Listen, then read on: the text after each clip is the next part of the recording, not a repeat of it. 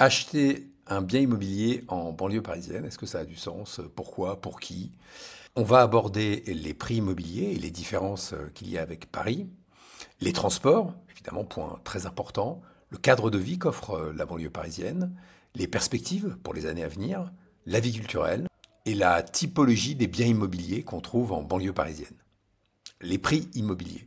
La grande différence qu'il y a entre Paris et les villes euh, en dehors de Paris, fort sympathique d'ailleurs, c'est en premier lieu les prix. On a des prix qui vont se situer entre moins 20 et moins 50% euh, dès qu'on est en première ou deuxième couronne euh, de Paris.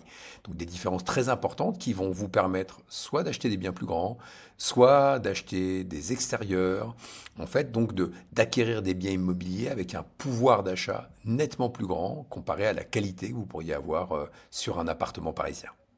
Intéressons-nous maintenant au transport. Le, maillage euh, est déjà euh, assez bien fait en banlieue parisienne, surtout si on parle de la première et de la deuxième couronne.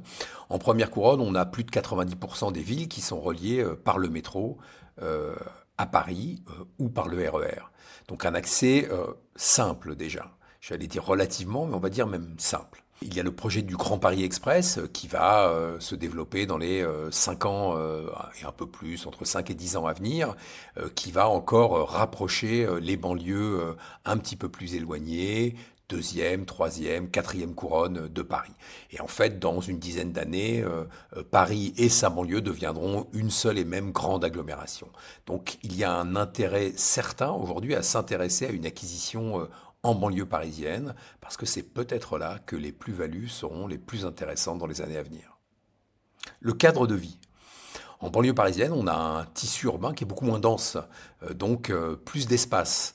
On le retrouve euh, dans les rues, euh, on le retrouve dans des, euh, espaces verts beaucoup plus importants, des forêts. On peut prendre par exemple la forêt de Meudon, on peut prendre le, le canal de l'Ourcq. Il y a énormément autour de Paris de lieux où on peut se promener, se détendre. Les centres-villes sont très agréables, sympathiques. Ils ont un petit côté provincial, mais agréable. Euh, une vie peut-être un petit peu plus euh, village, où les gens vont se connaître. Il y aura plus, euh, plus d'échanges. Une vie plus paisible. Évidemment, on n'aura pas la qualité architecturale de Paris et la densité d'offres en restaurants, bars, commerces. Mais si vous êtes dans le centre de, de Suresnes, de Sèvres, de Meudon, de Montreuil. Dans ces centres-villes, vous avez euh, les commerces, les restaurants, euh, les endroits extrêmement sympathiques à fréquenter, mais ils vous offriront une qualité de vie très importante. Un aspect très agréable des villes autour de Paris, le calme. Il est incomparable avec ce que l'on trouve à Paris. Il y aura beaucoup d'endroits où vous pourrez trouver des maisons et des appartements qui seront situés dans des zones vraiment très calmes.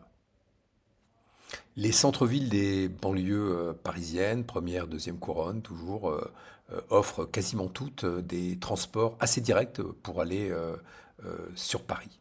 Mais il ne faut pas aussi oublier euh, la possibilité de travailler en dehors de Paris. Beaucoup d'entreprises, et notamment de grandes entreprises, se sont installées hors de Paris, euh, attirées euh, par des loyers beaucoup plus intéressants et la possibilité d'obtenir des bureaux avec des, des rapports qualité-prix bien meilleurs que sur Paris. L'offre immobilière est plus diversifiée autour de Paris que dans Paris.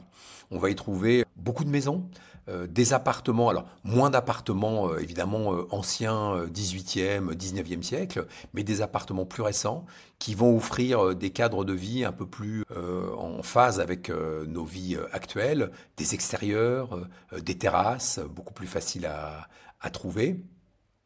On va aussi trouver des lofts, et puis toujours cette différence de prix importante entre Paris et la, et la banlieue parisienne, qui vont vous permettre d'acheter plus de mètres carrés, ou alors des extérieurs, ou alors des vues dégagées, et le grand intérêt de la banlieue, le calme. D'un point de vue culturel, J'ose dire que euh, les villes en dehors de Paris n'ont rien à envier à Paris, évidemment, j'exagère. Euh, Paris est une euh, capitale qui offre des possibilités de voir des pièces de théâtre, aller à des concerts, voir des expositions qui sont incomparables, parce que peu de villes au monde offrent ces possibilités. Mais les villes en dehors de Paris possèdent notamment des scènes de théâtre national extrêmement importantes. Il y a des musées, par exemple, je prends le, le, Macval à Ivry, la scène musicale euh, à Boulogne. Et de nombreuses villes proposent euh, leur propre festival, des activités culturelles intéressantes. Je prends par exemple, moi je suis vendéen, euh, on a un festival qui s'appelle Ardenté, qui est un festival hyper créatif de danse et de théâtre contemporain dans notre chère petite ville de Vanves. Pour conclure avec les villes en dehors de Paris, en tant que chasseur immobilier, j'accompagne régulièrement des acheteurs euh, qui souhaitent aller directement en banlieue parisienne, mais aussi euh, euh, certains acquéreurs qui ont des budgets qui sont un peu justes par rapport à ce qu'ils visent à Paris. Et je leur propose l'option de passer le périphérique. Et certains acceptent, on, on, regarde les villes et ce qu'ils peuvent obtenir dans ces villes en dehors de Paris. Et très souvent, en fait, ils sont surpris, souvent très agréablement, de la différence et de la qualité de vie supplémentaire qu'ils pourront obtenir en sortant de Paris. Alors attention, je ne suis pas en train de dire que Paris n'offre pas une qualité de vie exceptionnelle, parce que c'est une ville exceptionnelle.